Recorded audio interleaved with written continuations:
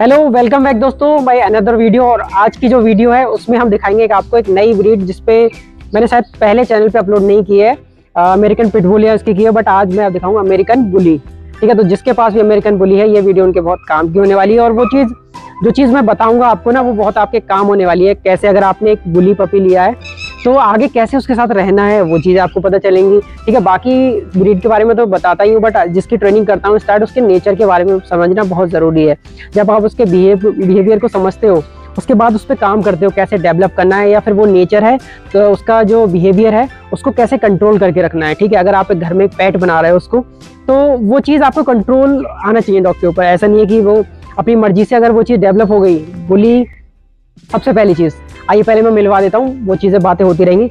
इसका नाम है जॉर्डन। जॉर्डन, हाय।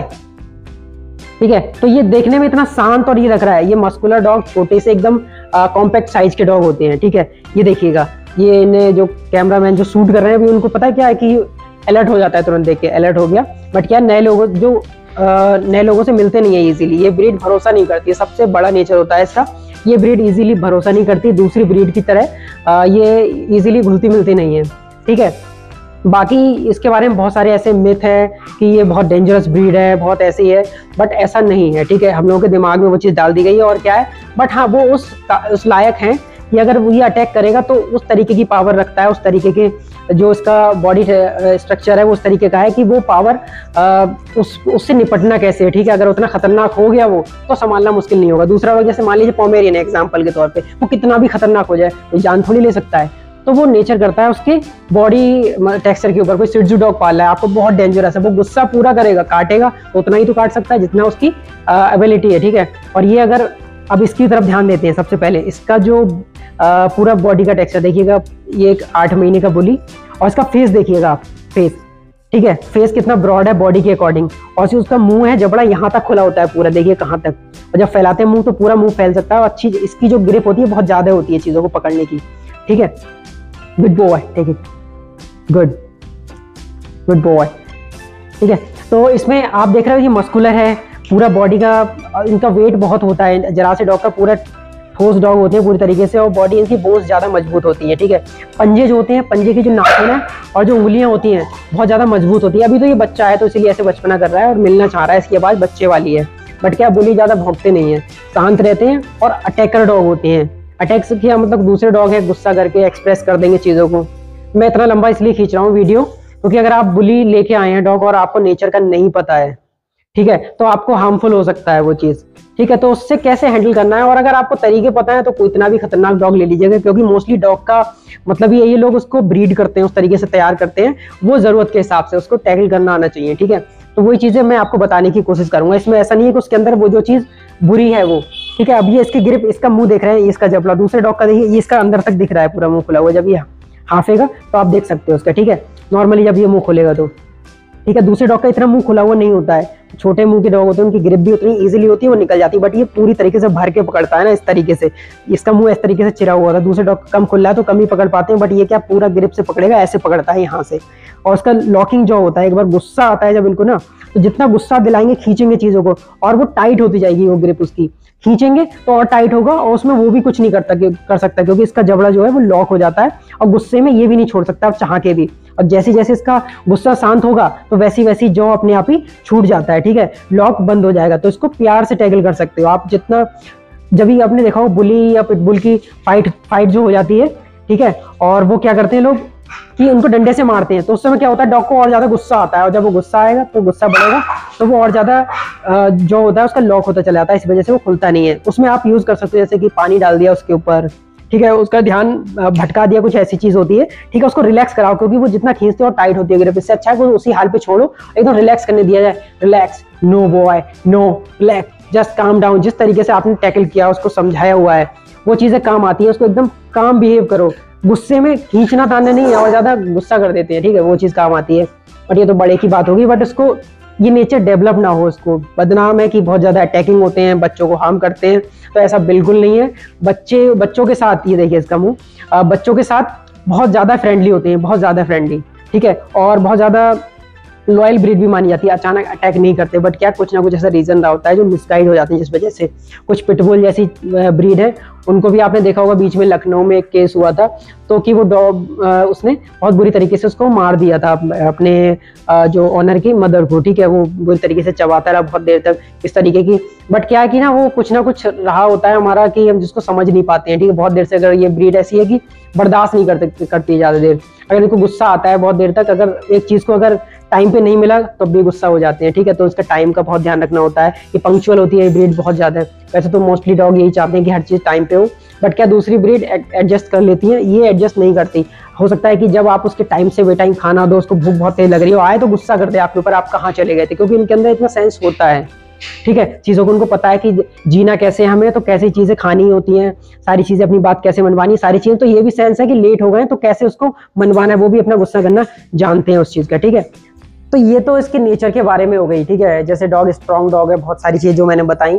तो मगर इसके साथ रहना कैसा है? जब आप एक पप लेके आते हो छोटा तो बुली का तो उनके, इनको ना ऐसे डॉग्स को स्टार्टिंग से ही आपका और इन्वॉल्वमेंट इनकी लाइफ में बहुत ज़्यादा होना चाहिए आपका, ठीक है? जैसे कि खाना खिला रहे हो, ठीक है? तो खाना खिलाओ, बैठ के खिलाओ, हाथ से बीच बीच में उसको मतलब खाने में हाथ डालते रहो, जिससे कि अचानक से कभी कभी क्या होता है, ये ब्रीड बहुत एग्रेसिव हो जाती है, आसपास से गुजरना भी दुशवार कर देती है, आप खाने के पास नहीं जा सकते बट इसकी आदत में लेके आओ, इसका खाना है आप छू रहे हो खाओ बेटा, फिर आप बैठ रहे हो, ठीक है? जितनी देर खा रहा खा रहा है, वैसे नहीं, डाल के छोड़ दिया। ठीक है? और बर्तन उठाया, तुरंत लेकर आधे खाते हुए से। ये चीज़ें बिल्कुल नहीं करनी है। खिलाया फिनिश करा। गुड बॉय शाबाशी दी उसको। ठीक है? जब भी बोल ठीक है गुड बॉय गुड बॉय समझने लगा ये, ठीक है? तो उसको शाबाशी दी, ठीक है? उसको गुड बॉय बोला, ठीक है? जब भी उसने फिनिश कर लिया ओके मैं लेके जाता हूँ। फिर ले गए। बर्तन खाली होने के बाद, ठीक है?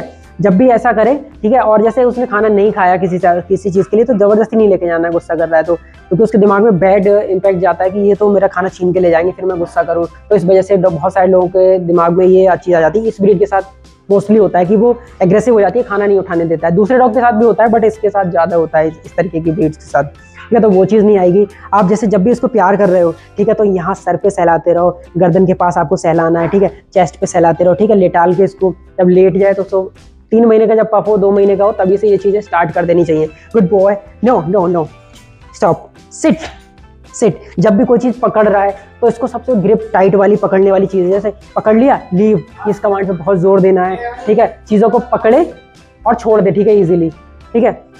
तो लीव कमांड इन पे बहुत ज़्यादा ज़ोर देना चाहिए आपको। कंट्रोल वाली command stay command wait command no command इन पे ज़्यादा काम करना होता है, ठीक है? ऐसा नहीं है कि कुछ भी कर रहा है डॉग बस उसको बोल नहीं रहे हैं, छीन रहे हैं, उसे छीना नहीं वॉइस जितनी कमांडिंग होगी, जितना डिसिप्लिन में रहेगा, डॉग, उतना बेहतर रहता है, ठीक है? तो इन चीज़ों पर ज़्यादा हमें काम करना होता है। ये ब्रीड काफ़ी इंटेलिजेंट होती है, ऐसा ही देखिए, आप देख रहे हैं केज भी खोल है, अपने आप ही इसको पता है कैसे खोलना है। तो इनको बहुत समझ होती है इंटेलिजेंट दूसरी ब्रीड को नॉर्मली अपने आप ऐसा करते हुए नहीं देखोगे। इनको एक जगह बंद कर दोगे तो कैसे उस जगह से निकल के आना, ये बखूबी जानते हैं, ठीक है? हर चीज़ को, अंदर बाहर जाना। देखिए नॉर्मली अपने आप सीखा हुआ है, बिना चीज़ के इसको पता है। इतना सेंस डॉग के अंदर भी होता है। हम लोग बस ये हमारी लैंग्वेज और हमारा रहन सहन पकड़ते हैं। अगर हमारा इनके साथ बिहेव अच्छा है, इनको अच्छे तरीके से गाइड कर रहे हैं तो कभी डॉग गुस्से नहीं होता। आप आराम से रख सकते हो इस ब्रीड को। इसको आप बीच में भी रख सकते हो। जैसे ज़रूरी नहीं है कि बहुत सारे लोग अकेले ही रखना है। बच्चों के बीच में भी रख सकते हो इस ब्रीड को। लोग रिकमेंड नहीं करते। बट क्या है, आपको गाइडेंस प्रॉपर मिलती नहीं, मिलती रहनी चाहिए इस चीज़ की कि कैसे इनको हैंडल करना है डॉग्स को। किसी एक्सपर्ट की ट्रेनर की आप गाइडेंस में ही डॉग को पालें और पूरे उसके नेचर को समझें। समय समय पर कोई ऐसा कोई उसका टीचर हायर कर लें ट्रेनर ठीक है, जो उसकी साइकोलॉजी को समझता हो अच्छे तरीके से, वो आपको गाइड कर सके। क्योंकि तो जब भी कुछ करेगा तो एक ऐसा नहीं कोई ट्रेनर बुलाया, वो सिखा के चला गया कमांड से कुछ नहीं होने वाला है। जब तक उसको आपको साइकोलॉजी की समझ नहीं होगी, ठीक है, वो क्या चाह रहा है, कैसे चाह रहा है, वो तभी समझोगे, आप टाइम स्पेंड करोगे और आपको वो चीज़ें पता होंगी कि हमारे इंस्ट्रक्टर ने ये बताया है और इस समय इसको ऐसा करना है। वो आपको पता होंगी, जब वो करे तो उसको गाइड कर दिया।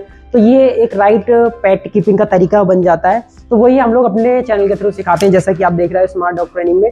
हम यही बताते हैं कि make your dog smart with smart dog training ठीक है स्मार्ट डॉग ट्रेनिंग के साथ मिलकर अपने डॉग को स्मार्ट कैसे बनाएँ स्मार्ट पेट कीपिंग कैसे करें तो वो आप हमसे जुड़ के कर सकते हो। अगर आप पर्सनली हमारी गाइडेंस भी चाह रहे हो तो हम ऑनलाइन कोर्स प्रोवाइड करते हैं, जो स्क्रीन पर नंबर दिए जा रहे हैं, उन पर आपको कोर्सेज की डिटेल मिल जाएँगी। और एक अच्छी चीज़ और है, इस वीडियो के थ्रू मैं पहली बार आपको ऐसा बता रहा हूँ कि लोग बहुत सारी क्वेरीज आती है कि हमें भी एक ट्रेनर बनना है प्रोफेशनल ट्रेनर अगर ट्रेनर आप बनना चाहते हो तो जो नंबर दिया जा रहा है इन पर हमें व्हाट्सएप कीजिएगा कि प्रोफेशनल डॉग ट्रेनर बनना है मुझे तो उसकी भी हम डिटेल्स आपको दे देंगे, ठीक है? पूरे ऑनलाइन कोर्सेज रहते हैं, बाकी डिटेल्स आपको व्हाट्सएप पे मिल जाएगी। जैसा कि जनरली ये बहुत ज़्यादा अलर्ट ब्रीड होती है, इसके अंदर एक प्रॉब्लम आती है टेरिटरी एग्रेशन इसमें क्या है कि अपनी टेरिटरी में कुछ भी डॉग्स किसी चीज़ को, नई चीज़ को बर्दाश्त नहीं करते हैं, अनजान चीज़ को। दूसरा, ये एथलीट बहुत अच्छे होते हैं इनकी जंप वगैरह बहुत अच्छी होती है तो आप उस चीज़ के लिए प्रॉपर इनकी अगर एनर्जी वन डेली कर रहा है तो एग्रेशन इसके अंदर नहीं आता है। इसके लिए आप इसको वॉक करा सकते हो, ठीक है? डिसिप्लिन में हमेशा रखना है डिसिप्लिन में स्टे वगैरह की कमांड स्टे सिट प्रॉपर जो बोलो आप, वो चीज़ आपको रेगुलर आपके अगर कंट्रोल में है डॉग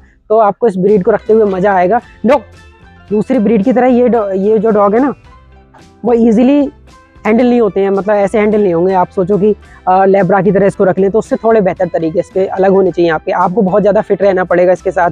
टाइम देना पड़ेगा। लेब्राडोर या दूसरी ब्रीड कि नहीं, आज नहीं लेके गए हम, नहीं, आपको डेली वॉक पे लेके जाना है, ठीक है? डेली अगर घर में ट्रेड ट्रेडमिल है तो उस पर उस पर रनिंग करवाइए, ठीक है? आप साइकिल साइकिलिंग करते हो साइकिलिंग के साथ में इसको साथ में रन करवा सकते हो। ये सारी चीज़ें हैं वो ज़रूरी हैं, ठीक है? तो इस तरीके से अगर आप इन डॉग को रखोगे तो आई होप कि आपको ये वीडियो अच्छी लगेगी और आपकी मदद करेगी, ठीक है, बहुत ज़्यादा। ठीक है, अगर आप पेट कीपिंग कर रहे हो, एक इस अमेरिकन बुली की, ठीक है तो मेरा यही मकसद है कि आपको अच्छे से गाइड कर पाऊँ और इसी तरीके की और वीडियोज़ के लिए मेरे चैनल पर बने रहिएगा और मिलते हैं नेक्स्ट वीडियो में, तब तक के लिए बाय जय हिंद।